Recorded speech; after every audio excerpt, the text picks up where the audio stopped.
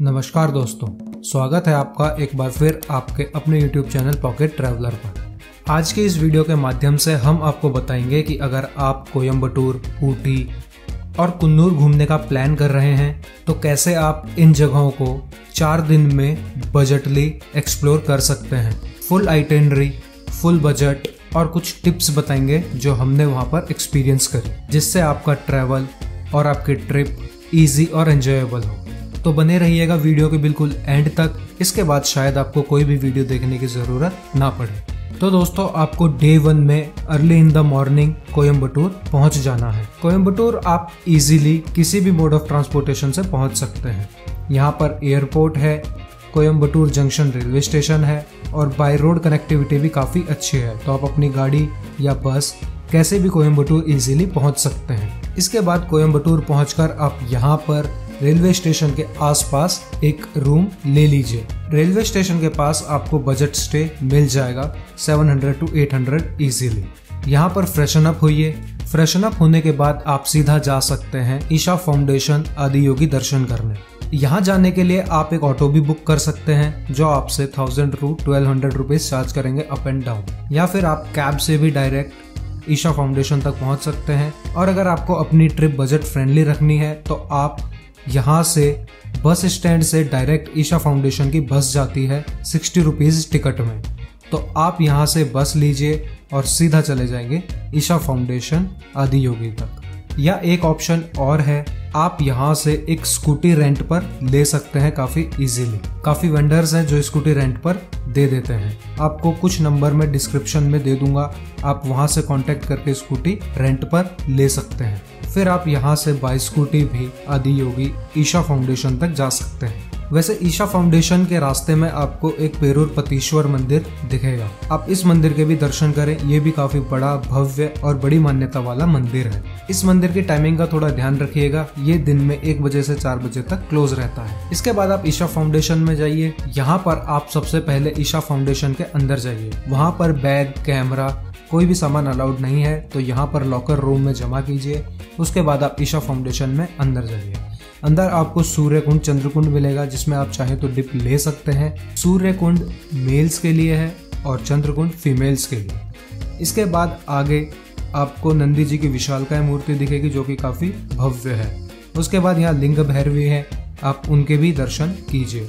इसके बाद आप अंदर ध्यान लिंगा के दर्शन कीजिए और उसके बाद आप बाहर आ जाइए फिर यहाँ पर 700 से 800 मीटर के डिस्टेंस पर आदि योगी है, आप उनके दर्शन कीजिए। वहाँ पर रात का light and sound show attend कीजिए, जो कि बेहद सुंदर होता है। उसके बाद आप वहाँ से ऑटो कैब या बस या अपनी स्कूटी से वापस आ जाइए। यहाँ पर लास्ट बस रात में 9 बजे चलती है। डे टू में अर्ली इन द मॉर्निंग उठिए। इस दिन पर आपको थोड़ी सी ट्रैवलिंग ज़्यादा करनी पड़ सकती है। तो इसलिए सुबह जल्दी ट्रैवलिंग हो जाए, क्योंकि दिन में बहुत ज़्यादा धूप हो जाती है कोयम्बटूर में।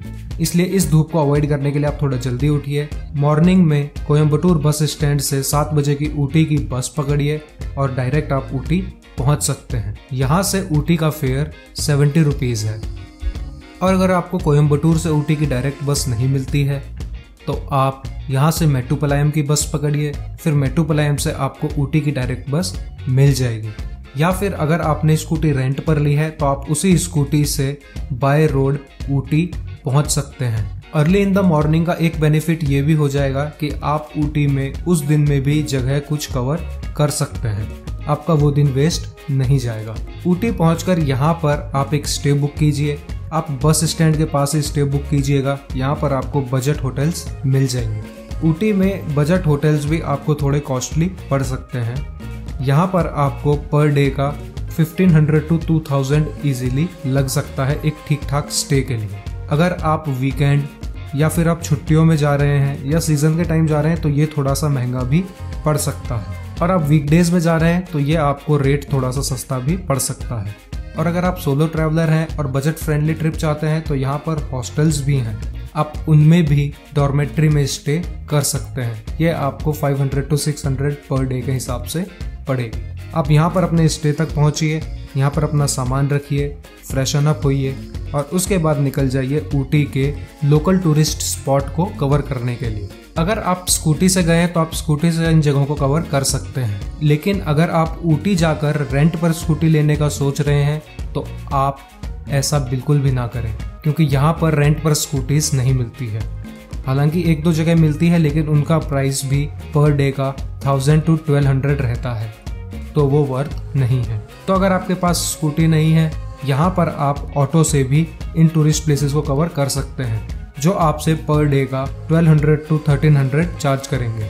मैं एक ऑटो वाले का नंबर आपको डिस्क्रिप्शन में दे दूँगा, आप उनसे कांटेक्ट कर सकते हैं। या फिर अगर आप यहाँ पर ऑटो से नहीं तो यहाँ पर कैब से भी इन टूरिस्ट प्लेसेस को कवर कर सकते हैं। कैब का पर डे का चार्ज 2300 टू 2500 वेरी कर सकता है। कैब वाले का भी नंबर मैं डिस्क्रिप्शन में प्रोवाइड कर दूँगा, आप वहाँ से गो थ्रू कर सकते वैसे यहाँ पर मिनी बसेस भी चलती हैं, जो कि इन टूरिस्ट प्लेसेस को कवर कराती हैं। लेकिन इनकी फ्रिक्वेंसी बहुत कम है, ये सिर्फ़ एक जगह से दूसरी जगह तक ही चलती हैं। तो अगर आप बजट फ्रेंडली ट्रिप चाहते हैं तो ये भी ऑप्शन ऑप्ट कर सकते हैं, अगर आप सोलो ट्रैवलर हैं तो। इसके बाद आप लोकल टूरिस्ट प्लेसेस कवर करने जा सकते हैं। आप सबसे पहले जा सकते हैं थ्रेड गार्डन जिसका एंट्री प्राइस थर्टी रुपीज़ है। यहाँ पर अंदर जितने भी फूल, पौधे, पत्तियाँ सब है, वो पूरी की पूरी थ्रेड से बनाई हुई है। ये अपने आप में ही एक अनोखा गार्डन है। आप ऊटी जाकर इसको विज़िट कीजिए और आप चाहें तो यहाँ से कुछ सोविनियर भी ला सकते हैं। इसके बाद इसी के बिल्कुल अपोजिट साइड है बोट हाउस आप वहाँ पर भी जा सकते हैं। इसका एंट्री प्राइस ट्वेंटी रुपीज़ है। यहाँ पर आपको ऊटी लेक दिखेगी, जिसमें आप बोटिंग कर सकते हैं। यहाँ पर भी डिफरेंट टाइप ऑफ़ बोटिंग्स हैं। आप चाहें तो उसमें से कोई सी भी ऑप्ट कर सकते हैं। बाकी यहाँ पर बहुत ज़्यादा झूले स्विंग्स वगैरह हैं। जिनके की डिफरेंट डिफरेंट प्राइसेस हैं। आप अगर इनके इच्छुक है तो आप ये भी ट्राई कर सकते हैं। इसके बाद आप यहाँ से जा सकते हैं डोडा बेटा पीक जो कि नीलगिरी माउंटेन का हाईएस्ट पीक है। इसकी entry price ten rupees per person है और कैमरे का चार्ज अलग। यहाँ पर अंदर जाकर आपको पूरा कोयम्बटूर मेटुपलायम और ऊटी शहर दिखता है, जो कि बेहद सुंदर लगता है। यहाँ पर एक टेलीस्कोप पॉइंट भी है। आप टेलीस्कोप से भी इन जगहों को देख सकते हैं। जैसा कि आप सभी जानते हैं कि ऊटी अपनी टी और चॉकलेट के लिए पूरे इंडिया में फ़ेमस है। तो आप यहाँ से नेक्स्ट टी फैक्ट्री और चॉकलेट फैक्ट्री जा सकते हैं। हम यहाँ पर बेंचमार्क चॉकलेट फैक्ट्री और टी फैक्ट्री गए थे, जिसका entry price thirty rupees per person है। यहाँ पर टी फर्मेंटेशन की पूरी की पूरा प्रोसेस दिखाया जाता है, कैसे लीव से लेकर टी सीड्स बनाए जाते हैं। और यहाँ पर आपको सैंपल में थ्री टू फोर वेराइटीज की टी भी मिलती है, आप वो भी ट्राई कर सकते हैं। और यहाँ पर आप डिफरेंट टाइप की टीज भी अपने साथ खरीद कर ले जा सकते हैं। ऐसे ही यहाँ पर चॉकलेट फैक्ट्री भी है, जिसमें पूरा चॉकलेट का प्रोसेस दिखाया जाता है और कुछ चॉकलेट टेस्ट भी कराई जाती है। आप चाहें तो यहाँ से भी कुछ चॉकलेट खरीद कर अपने साथ ले जा सकते हैं। इसके बाद आप जा सकते हैं मुर्गन टेंपल ये भी एक बेहतरीन टेंपल है ऊटी में। जो कि एल्क हिल पर बना हुआ है। अगर आप एडवेंचर एक्टिविटीज़ के शौकीन हैं तो यहाँ पर ईगल्स डेयर है। आप यहाँ पर साइकिलिंग जिपलाइनिंग और भी एडवेंचर एक्टिविटीज़ कर सकते हैं। आप यहाँ पर भी जा सकते हैं। इसके बाद आप जा सकते हैं रोज गार्डन जो कि ऊटी की एक और फ़ेमस प्लेस है। इसका entry price forty rupees per person है और कैमरे का चार्ज अलग। यहाँ पर आपको डिफरेंट टाइप के रोजेस मिल जाएँगे। ये फाइव स्टोरी में बना हुआ एक गार्डन है, जो कि बेहद सुंदर है और यहाँ पर आपको अलग ही महक आती है। इसके बाद आप जा सकते हैं गवर्नमेंट बोटेनिकल गार्डन। इसके entry price fifty rupees per person है। बेहतरीन बोटेनिकल गार्डन है। यहाँ पर एक ग्लास हाउस भी है, आप उसको भी विज़िट कर सकते हैं। और यहाँ पर डिफरेंट टाइप के पौधे लगाए गए हैं, आप उनको भी एक्सप्लोर कर सकते हैं। ये one of the largest botanical garden है इंडिया में। यहाँ पर अपना अच्छा खासा टाइम स्पेंड करने के बाद आप जा सकते हैं सेंट स्टीफन्स चर्च और उसके बाद आप अपने रूम पर आइए, अपना डिनर कीजिए। और आप थोड़ा रेस्ट कीजिए। डे थ्री में थोड़ा अर्ली इन द मॉर्निंग निकलिए अपने रूम से मॉर्निंग नौ बजे के आसपास। और उसके बाद आप पाइकरा रूट पर टूरिस्ट प्लेसेस एक्सप्लोर करते हुए जा सकते हैं। आप सबसे पहले देखेंगे गोल्फ कोर्स उसके बाद आपको यहाँ पर कामराज सागर डैम दिखेगा। हम जब गए थे तो यहाँ पर पानी ना होने की वजह से एंट्री नहीं दी गई थी। इसके बाद आप जाएँगे पाइन फॉरेस्ट जिसकी entry thirty rupees per person है। यहाँ पर बहुत ज़्यादा बड़ा एक पाइन फॉरेस्ट है, जो कि बेहद सुंदर आता है। ये एक फोटोजेनिक प्लेस है। यहाँ पर आप थोड़ा आगे जाएँगे तो आपको यहाँ पर लेक दिखेगी, जो कि काफ़ी शांत एनवायरनमेंट देती है। आप यहाँ पर कुछ टाइम अपना स्पेंड कर सकते हैं। उसके बाद आप जा सकते हैं ट्री पार्क जिसे seventh milestone shooting point भी कहा जाता है। यहाँ पर पूरा ये पार्क पूरे पाइन ट्रीज से ये भी भरा हुआ है। काफ़ी डेंस है। यहाँ से आपको सिक्स माइलस्टोन शूटिंग पॉइंट दिखता है, जो कि बेहद सुंदर लगता है। काफ़ी सिनिक व्यू है। इसके बाद आप जा सकते हैं Wenlock Down natural trail hill जिसे नाइन्थ माइलस्टोन शूटिंग पॉइंट भी कहते हैं। इसका entry price thirty rupees per person है। यहाँ पर आपको थोड़ा ट्रैक करके ऊपर जाना है 400 से 500 मीटर और यहाँ से आपको पूरे नीलगिरी माउंटेन का बेहतरीन व्यू दिखता है। और यहाँ से आपको डोडा बेटा पीक भी दिखता है। काफ़ी बेहतरीन व्यू है। यहाँ पर कई सारी मूवीज़ की शूटिंग हो चुकी है। इसके बाद यहाँ से थोड़ा आगे जाकर आपको पाइकरा वाटरफॉल दिखेगा, जो कि बेहद सुंदर और ब्यूटीफुल वाटरफॉल है। यहाँ पर आपको पाइकरा लेक भी दिखेगी। आप से भी एक्सप्लोर कर सकते हैं। पाइकरा के लिए मैं बता दूँ कि यहाँ पर वैनलॉक लॉकडाउन के बाद ऑटोज आगे नहीं जाते हैं। अगर आपको पाइकरा जाना है तो आपके पास कैब होनी चाहिए, या फिर आपके पास अपना विकल्प हो सकता है। ऐसे आप पाइकरा पहुँच सकते हैं। पाइकरा से थोड़ा आगे सेंट मोनिका लेक पड़ती है। आप उसको भी विज़िट ज़रूर कीजिएगा। और उसके आगे आपको नीडल व्यू पॉइंट दिखता है। यहाँ से व्यू बेहतरीन दिखता है। यहाँ पर आपको यूकेलिप्टस के भी काफ़ी ट्रीज दिखेंगे। तो आप इस जगह को मिस मत कीजिएगा।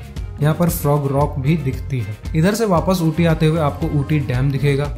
और उसके बाद आप यहाँ से जा सकते हैं कर्नाटका सीरी हॉर्टिकल्चर गार्डन, जो कि one of the must visit place है ऊटी का। ये बेहतरीन एक गार्डन है। इसका entry price fifty rupees per person है। अंदर जाकर आप देखेंगे कि यहाँ पर ये गार्डन तीन से चार स्टोरी में बना हुआ है। यहाँ पर ऊपर की तरफ़ रेस्टोरेंट भी आप चाहें तो कुछ स्नैक्स भी ले सकते हैं। और ये गार्डन काफ़ी बेहतरीन बना हुआ गार्डन है मॉडर्न आर्किटेक्चर से। यहाँ पर पीछे की तरफ़ आप जाएँगे तो यहाँ पर आपको कई टी गार्डन भी दिखेंगे, जो कि बेहद बेहतरीन व्यू देते हैं। आप यहाँ पर अपनी फ़ोटोज़ क्लिक करवा सकते हैं। वैसे यहाँ पर लाइट एंड साउंड शो भी हो सकता है आगे, उसकी प्रिपरेशन चल रही है। हम जब गए थे तो ये बन ही रहा था। इसके बाद आप अपने रूम पर आ जाइए, यहाँ पर आप अपना डिनर कीजिए और यहाँ पर रेस्ट कीजिए। इसके बाद अर्ली इन द मॉर्निंग आप 9 बजे की ऊटी से कुन्नूर तक की टॉय ट्रेन पकड़िए। इसके लिए आप आईआरसीटीसी से प्री बुकिंग करवा सकते हैं। और अगर आपके पास प्री बुकिंग नहीं है तो आप सवा सात से साढ़े सात तक ऊटी के रेलवे स्टेशन पहुँच जाइए। यहाँ से आपको 9 बजे की ट्रेन की टिकट मिल जाएगी। अगर आप थोड़ा सा लेट होते हैं तो आपको फिर 12 बजे की ट्रेन की टिकट मिलेगी। तो इसलिए आप सवा सात से साढ़े सात ऊटी रेलवे स्टेशन तक पहुँच जाइए। उसके बाद एक घंटे की बेहतरीन सीनिक व्यू वाली टॉय ट्रेन की जर्नी कीजिए। टॉय ट्रेन में कैसे आपको टिकट मिल सकती है? कैसे आप इमीडिएट टिकट ले सकते हैं? कैसे आप जर्नी कर सकते हैं? क्या क्या सैनिक व्यू होंगे? इस पे हमने एक पर्टिकुलर वीडियो बना दी है, जो आपको आई बटन पर शो हो रही होगी। और इसका लिंक भी हमने डिस्क्रिप्शन में दे दिया है। आप वहाँ से जाकर गो थ्रू कर सकते हैं। तो इन सीनिक व्यू से होते हुए आप पहुँचेंगे कुन्नूर एक घंटे में। कुन्नूर पहुंचकर आप रेलवे स्टेशन से बाहर आइए। यहाँ पर आपको बाहर निकलते ही ऑटो मिलेगा, जिससे आप कन्नूर की सारी टूरिस्ट प्लेसेस कवर कर सकते हैं। इसमें आपको ढाई से तीन घंटे लग सकते हैं। ये ऑटो आपसे ट्वेल्व हंड्रेड रुपीज़ चार्ज करेंगे। आप बाकी बार्गेनिंग भी कर सकते हैं। आपको एक ऑटो वाले का नंबर मैं प्रोवाइड करा दूँगा डिस्क्रिप्शन में। आप उनसे कॉन्टेक्ट कर सकते हैं। और अगर आप कुन्नूर कैब से घूमना चाहते हैं तो आपको रेलवे स्टेशन के सामने ही कैब्स मिल जाएँगी, जिनका प्राइस करीबन 2300 टू 2500 रह सकता है, और आप बार्गेनिंग भी कर सकते हैं उनसे। कुन्नूर में आप सबसे पहले जाएँगे चर्च, जो कि एक काफ़ी फ़ेमस चर्च है। उसके बाद वहाँ से आप जाएँगे सिम्स पार्क, जो कि अगेन एक बेहतरीन गार्डन है कुन्नूर में। इसके बाद आप वेलिंगटन जिमखाना क्लब जा सकते हैं। उसके बाद आप डायरेक्ट जा सकते हैं लैम्प्स राव जो कि एक फोटोजेनिक प्लेस तो है ही, और उसके साथ साथ यहाँ से आपको स्लीपिंग लेडी व्यू भी दिखता है, जो कि एक माउंटेन की शेप में है, एक स्लीपिंग लेडी जैसे इमेज प्रतीत होती है। और ये माउंटेन कर्नाटका, केरला और तमिलनाडु के बिल्कुल बॉर्डर पर है। तीनों स्टेट को जोड़ती है ये वाली माउंटेन इसके बाद आप यहाँ से हाई गार्डन टी फैक्ट्री या सिंगारा टी फैक्ट्री जा सकते हैं। और उसके बाद आप यूकेलिप्टस ऑयल फैक्ट्री और चॉकलेट फैक्ट्री भी जा सकते हैं। यहाँ पर आपको कुंदूर स्ट्रॉबेरी फॉर्म देखने को मिलेगा, आप वहाँ पर भी जा सकते हैं। इसके बाद आप लेडी कैनिंग सीट और डॉल्फिन नोज़ व्यू पॉइंट भी जा सकते हैं, जो कि अगेन एक मस्ट विज़िट प्लेस है कुन्नूर का। और वहाँ से वापस आते हुए आपको यहाँ पर नेचर वॉक करने का मौका मिलेगा टी गार्डन में, जो कि एक लाइफ टाइम एक्सपीरियंस देगा आपको। आप इसे मिस मत कीजिएगा। इसके बाद आपको ऑटो वाले Chaiyya Chaiyya song shooting location दिखाएँगे, कराची वाटरफॉल और आप चाहें तो यहाँ से लॉस वाटरफॉल भी जा सकते हैं। और एक हिडन जैम है कुन्नूर में जो है, रलिया डैम, आप उसको भी विज़िट कर सकते हैं। यहाँ पर वैसे एक दो जगह और हैं, जो कि थोड़ा आउटस्कर्ट में पड़ती हैं। हिडन वैली दुर्ग फोर्ट आप उनको भी विज़िट कर सकते हैं। और फिर आते हुए आपको यहाँ से कुन्नूर विलेज का बेहतरीन व्यू पॉइंट दिखेगा। आप उसको भी एक्सप्लोर कीजिए। वैसे कुन्नूर की और डिटेल्ड वीडियो चाहिए तो इस पर हमने एक पर्टिकुलर वीडियो बना दी है, जो आपको लिंक डिस्क्रिप्शन में मिल जाएगा और आपको आई बटन पर भी शो हो रहा होगा। आप वहाँ से गो थ्रू कर सकते हैं। उसके बाद आप वापस ऊटी आ सकते हैं। इसके लिए आप वहाँ से एक बजे की टॉय ट्रेन लेकर वापस आ सकते हैं। और अगर आपकी वो ट्रेन मिस हो जाती है या आपको टिकट नहीं मिलती है तो कुन्नूर से ऊटी फ्रिक्वेंटली बसेस चलती रहती हैं, जो कि आपसे ट्वेंटी रुपीज़ चार्ज करेंगे और आप ऊटी वापस आ सकते हैं। ऊटी आकर आप अपनी स्कूटी से आप जा सकते हैं एवेलांच और एमराल्ड लेक पर, जो कि अगेन एक हिडन जेम है ऊटी का। और अगर ऊटी की आपको और डिटेल्ड वीडियो चाहिए तो इस पे भी हमने एक पर्टिकुलर वीडियो बना दी है, जो आपको आई बटन पर शो हो रही होगी। आप इससे गो थ्रू कर सकते हैं। एमेराल्ड और एवेलांची लेक को विज़िट करने के बाद आप उसी दिन शाम को स्कूटी से पहुँच सकते हैं कोयम्बटूर वापस। और इस दिन आप कोयम्बटूर से अपने गंतव्य स्थान, अपने गृह स्थान की ट्रेन, फ़्लाइट या बस ले सकते हैं। तो ऐसे आप चार दिन की ये वाली ट्रिप कंप्लीट कर सकते हैं। अगर आपके पास एक दो दिन एक्स्ट्रा है तो आप कोयम्बटूर की और भी टूरिस्ट प्लेसेस एक्सप्लोर कर सकते हैं। कोयम्बटूर में और भी क्या टूरिस्ट प्लेसेस हैं? कैसे इनको कवर कर सकते हैं? इसकी हमने पूरी डिटेल्ड वीडियो बना दी है, जो आपको आई बटन पर शो हो रही होगी और इसका लिंक हमने डिस्क्रिप्शन में भी दे दिया है, आप वहाँ से गो थ्रू कर सकते हैं। और आप चाहें तो ऊटी से मैसनगुड़ी, मधुमलाई टाइगर रिज़र्व भी जा सकते हैं, जिसके लिए आपको पूरा एक दिन लगेगा ही लगेगा। तो अगर आपके पास कुछ रिज़र्व डेज़ हैं तो आप इन जगहों को भी कवर कर सकते हैं। ऐसे आप ये चार दिन की फुल पैक्ड आइटेंडरी बना सकते हैं। दोस्तों, अब बात करते हैं शॉपिंग की। अगर आपको कोयम्बटूर में शॉपिंग करनी है तो आप गांधीपुरम से शॉपिंग कर सकते हैं। यहाँ पर आपको फ्ली मार्केट और कुछ आउटलेट्स भी दिख जाएँगे। आप यहाँ से शॉपिंग कर सकते हैं। अगर आपको ऊटी में शॉपिंग करनी है तो यहाँ पर अपर बाज़ार काफ़ी अच्छी जगह है शॉपिंग के लिए। यहाँ पर आपको रीजनेबल रेट में वुलन और समर के भी कुछ कपड़े मिल जाएँगे। आप चाहें तो यहाँ से शॉपिंग कर सकते हैं। और अगर आपको कुछ क्वालिटी शॉपिंग करनी है तो यहाँ पर बोटेनिकल गार्डन के सामने ही तिब्बत मार्केट है। यहाँ से आप ऑथेंटिक वुलन कपड़े खरीद सकते हैं। अब बात करें यहाँ पर नेटवर्क की। कोयम्बटूर ऊटी और कुन्नूर, यहाँ पर आपको एयरटेल और जियो के काफ़ी ठीक ठाक नेटवर्क देखने को मिल जाते हैं। लेकिन कोयम्बटूर और ऊटी के रास्ते में आपको नेटवर्क की थोड़ी कमी हो सकती है। यहाँ पर नेटवर्क बहुत ही कम रहते हैं। और अगर बात की जाए लोकल्स की तो यहाँ पर आपको मोस्टली लोग हिंदी में बात करते हुए दिख जाएँगे। यहाँ पर आपको मोस्टली ऑटो वाले वेंडर्स यहाँ पर मोस्टली लोग आपको हिंदी बोलते हुए दिख जाएँगे और यहाँ पर हिंदी इजीली समझ लेते हैं लोग। तो इतना हिंदी लैंग्वेज बैरियर नहीं है। आप इजीली ट्रैवल कर सकते हैं। अगर यहाँ पर बात की जाए फ़ूड की, अगर आप साउथ इंडियन लेते हैं तो यहाँ पर आपको 70 to 80 rupees per diet easily मिल जाएगी। लेकिन अगर आप नॉर्थ इंडियन चाहते हैं तो आपको फ़ूड तो मिल जाएगा, लेकिन थोड़ा कॉस्टली पड़ सकता है। 160 टू 180 आपको पर डाइट पड़ सकती है। तो आप उस चीज़ का थोड़ा ध्यान रखिएगा। दोस्तों, अब बात करते हैं बजट की। बजट में सबसे पहला है स्टे। स्टे आपको एक तो कोयम्बटूर में चाहिए और दो दिन का स्टे आपको ऊटी में लग सकता है। इसके बाद है फ़ूड। फ़ूड आपको अगर साउथ इंडियन चाहिए तो seventy to eighty rupees per diet मिल जाएगी। नॉर्थ इंडियन आपको थोड़ा महँगा पड़ सकता है। इसके बाद है ट्रांसपोर्टेशन। अगर आप ऑटो, कैब से ये चीज़ें एक्सप्लोर करते हैं तो आपको ये थोड़ा महँगा पड़ सकता है। और अगर आप स्कूटी से ये चीज़ें कवर करते हैं तो आपको थोड़ा सा सस्ता पड़ सकता है। तो मैं मान के चल रहा हूँ कि आप एटलीस्ट दो जने तो आएँगे ही। आपको ये बजट अप्रोक्सीमेटली पड़ सकता है। अब बात करते हैं यहाँ पर बेस्ट टाइम विज़िट का। यहाँ पर सबसे बेस्ट टाइम विज़िट का नवंबर टू मार्च माना जाता है। वैसे आप साल के किसी भी टाइम में आइए, यहाँ पर आपको खुशनुमा मौसम ही मिलेगा। मिड अप्रैल से मिड मई तक अगर आप आते हैं तो यहाँ पर आपको मौसम बहुत साफ़ दिखेगा और आपको हिल्स से नीचे कोयम्बटूर मेट्टूपलायम ये सिटीज़ काफ़ी क्लियर दिखती हैं। तो आप इसके व्यू के लिए आना चाहते हैं तो आप अप्रैल मिड से मिड मई में आ सकते हैं। तो दोस्तों, आशा करता हूँ आपको आज की वीडियो पसंद आई होगी। अगर पसंद आई तो इसे लाइक कीजिए और शेयर कीजिए उनके साथ जो कोयम्बटूर ऊटी और कुन्नूर ट्रिप का प्लान कर रहे हैं। और अगर हमने कोई भी डिटेल देनी मिस कर दी है तो आप हमसे कमेंट में ज़रूर पूछिए। हम आपको जल्द से जल्द एडुकेट रिप्लाई ज़रूर देंगे। वीडियो को एंड तक देखने के लिए बहुत बहुत धन्यवाद। अब मेरे साथ एक बार कमेंट में लिख दीजिए। हर हर महादेव।